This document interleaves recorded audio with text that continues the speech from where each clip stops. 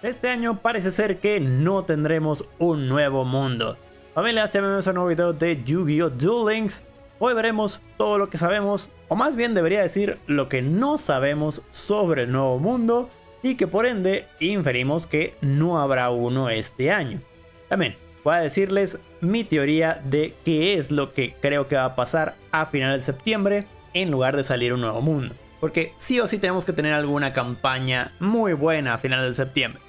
Empecemos con las filtraciones que todavía no han salido. Primero que nada los IDs de los nuevos mundos. Hasta el momento no hay un nuevo ID para un siguiente mundo. Y esto es lo principal, lo que va a haber salido desde febrero o marzo. Luego, normalmente a mediados de mayo, durante una actualización, también empezamos a tener códigos para lo que son filtros, la sección de menús para el siguiente mundo precisamente este fue el de eh, hace dos años, en mayo del 2022, justamente el año en que salió el mundo de Brains. Vemos la salida de estos códigos y también enseñé en el mismo video eh, que el de los péndulos salió un año antes, en mayo 14 del 2021. Por lo tanto es algo que esperábamos que también saliera. Lo más parecido que hemos tenido es a mediados de julio, dos meses después de lo normal, tuvimos una actualización para los IDs de varios tipos de monstruos de fusión. Ojito, pero esto es algo que ya teníamos desde antes, de hecho ya les había mostrado las imágenes de estos tipos de monstruos y según yo ya, ya también ya estaba el programa para buscar ese tipo de monstruos. Entonces tal vez nomás fue códigos para la identificación de cada uno de los tipos. Esta es nuestra primera pista de que podría salir dentro del siguiente mundo. Entonces aquí muchos ya están haciendo la inferencia de que podría ser el mundo de Go Rush, ya que ahí pues prácticamente todos tienen fusiones. de todas maneras las fusiones son introducidos desde Sevens. Eso quiere decir, qué mejor forma de introducir fusiones que con el mismo mundo de Sevens y ya luego sacar el siguiente mundo de Go Rush. Además, como dijimos antes, no hay ningún ID que mencione todavía Go Rush, bueno, igual y si existe el ID, nada más que los filtradores nunca avisaron de él. Todo dependerá de eso, pero como pues nunca salió la noticia, pues inferiremos que no hay ID de Go Rush. Por lo tanto, si llegan a hacer algo de fusiones, es más bien para el mundo de Sevens. Y hablando de Rush, aquí es donde quería meter también otra teoría acerca de las cajas y de las futuras cajas, que ya hemos hablado en directos pasados, desde la salida de Genesis Maximum, la salida de los Maximum precisamente, pero bueno, igual le aprovecho para decir que no nada más voy a hablar de Roche este video, sino también voy a hablar algo de Speed un poco más adelante. Pero bueno, la teoría que tenía es que cuando vimos que la salida de Genesis Maximum fue una mini caja, ya suponíamos que entonces todas iban a ser mini cajas. Y precisamente después de esta salió una super mini caja, entonces dijimos, ah, ok, sí, las mini cajas son como si fueran las cajas grandes y las super mini son como si fueran las mini cajas.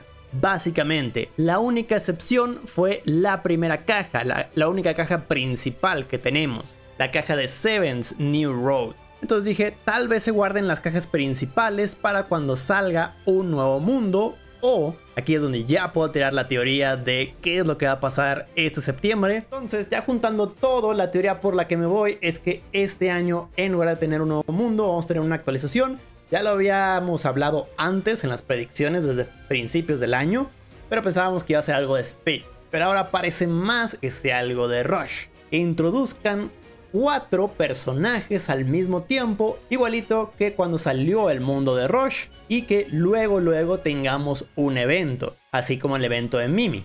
Y con eso podrían darnos ya cinco de los seis hermanos Gohan. Ahora, aquí me dirán, pero oye, ¿no se estarían terminando todos los personajes de Rush? Sí, efectivamente, pero pongámonos a contar cuántos personajes dieron durante todo el año. Personajes desbloqueables aparte del nuevo mundo. Solamente fue Mimi, Roa, Nail y después Asana. Son los únicos cuatro que han salido. Fijan, todos han sido muy importantes. Entonces me haría un poco raro que pusieran a los hermanos Goha como desbloqueable en algún evento, porque aunque sí son importantes, muchos de ellos nomás tienen un solo duelo y ya después no tienen más duelos. De hecho, si me pongo a pensar, los únicos que podría ver como personajes de eventos son Viento y Fuego, los dos de adelante, el Niño Fusiones y el personaje secreto.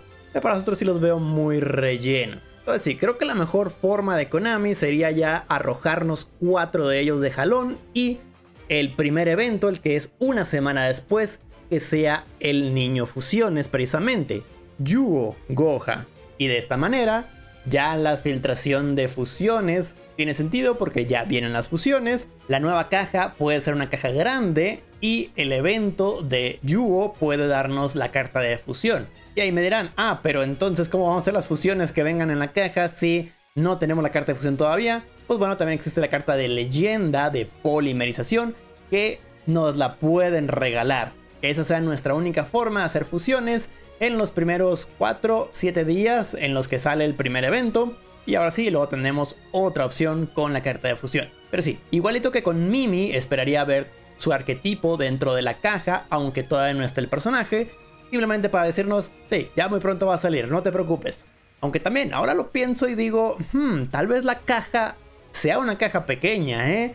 Porque pienso en las cartas que trae cada uno de estos personajes y casi todas ya las tenemos. Y hay algunas que son cartas legendarias, por lo tanto no podrían venir dentro de la caja, sino más bien sería por cartas, PvP o algún otro lado. Ejemplo, la de tierra tiene el escudo milenario. También creo que usaba escudo y espada y otras cartas leyenda, entonces son muchas cartas que tenemos o que son puramente leyenda, así que sí, debería salir en otros lados. Entonces es posible que traigan menos cartas, pero como dije, de todas maneras tenemos el arquetipo de Yuo que debería estar saliendo ahí, además de una que otra carta, pero igual, para rellenar la caja deberían de estar metiendo también las fusiones de los otros personajes. Por lo menos esperaría de los cuatro primeros personajes, quiere decir de los que ya tenemos. La primera fusión de Yuga, la fusión de Gakuto, la fusión de Luke y la fusión de Romy. Podrían meter todas ahí. Volviendo un poquito a lo que son las cajas también, si se fijan las últimas cajas, bueno, las últimas dos que no son super mini, han traído cartas que son para las fusiones precisamente.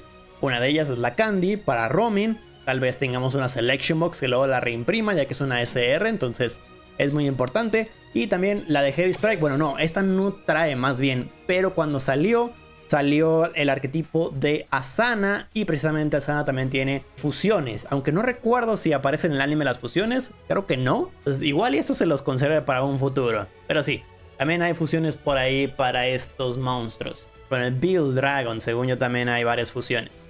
Así que sí, pueden hacer que la caja sea importante y como tenemos cuatro personajes, bueno, cinco si contamos el primer evento, pues son un montón de gemitas, por lo tanto, una caja grande que traiga mucho soporte, pues podríamos invertirle en caso de que quieran invertirle, claro. Y por último, para los que pregunten, pero entonces, ya nos acabamos con todos los personajes, ¿no? Ya no va a haber ni siquiera para este año personajes de Rush. Pues no, si se fijan, de los cuatro personajes que dijimos que tenían que salir como eventos, ya aquí tendríamos dos personajes, Yuo y el personaje secreto, dos hermanos Goha, y nos quedarían todavía Tiger, que pensé que iba a salir este primer año de Rush, pero parece que no. Supongo que lo más pronto que saldría sería en noviembre. Y también nos queda el último personaje, el personaje de Otes. Entonces sí, quedan cuatro personajes buenos, cuatro personajes importantes, así que ya con eso tendríamos otro año más de Rush. Y con eso le daría tiempo para que el próximo año fuera de Go Rush.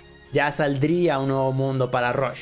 Y así sucesivamente, que, que básicamente cada año dentro del juego sea una temporada de Rush. Con alrededor de 8 nuevos personajes para dicho mundo. Pero bueno, esa es mi teoría de qué es lo que va a pasar. Díganme en los comentarios qué es lo que opinan, cuáles son sus teorías. Y para los que estén diciendo, oye, ¿qué va a pasar con Speed entonces? No vamos a tener nada. Pues bueno, si se fijan, por primera vez, digo, ya hemos tenido creo que tres meses en donde siempre estas filtraciones de cartas, todas han salido dentro de la actualización pero en esta ocasión salieron muy pocas de las cartas, salieron básicamente nada más pocos arquetipos, dejando atrás varias cartas que sí estábamos esperando.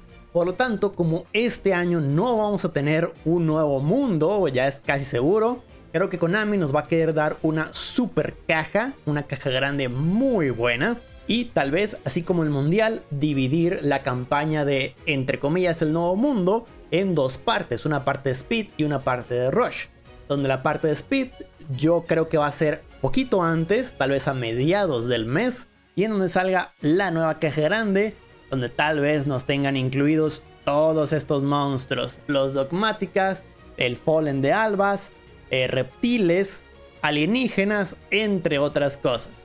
Lo único malo con esa teoría es que está muy restringido los tiempos en los que puede salir, ya que como ya hemos dicho antes, no creemos que vaya a salir una caja a finales de este mes. Quiere decir, agosto no va a tener caja, pero si es posible que mediados de septiembre lo tengamos. Lo malo es que las finales del mundial terminan creo que el día 8 y creo que la Copa KC, la siguiente Copa KC es por ahí del día 12.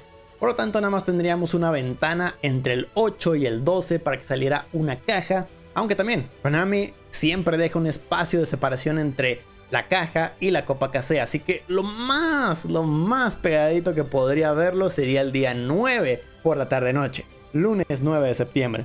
Pero bueno, sea como sea, lo más probable es que todo esto del nuevo mundo sea confirmado durante las finales del mundial, que son el día 7 y 8 de septiembre.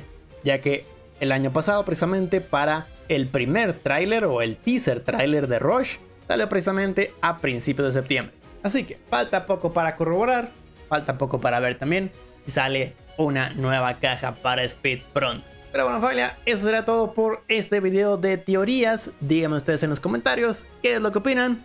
Por mi parte será todo. Muchísimas gracias por haber visto este video. También les agradecería si dejaran su buen like. Apoyan muchísimo al canal. Y nos vemos en la próxima. Bye bye.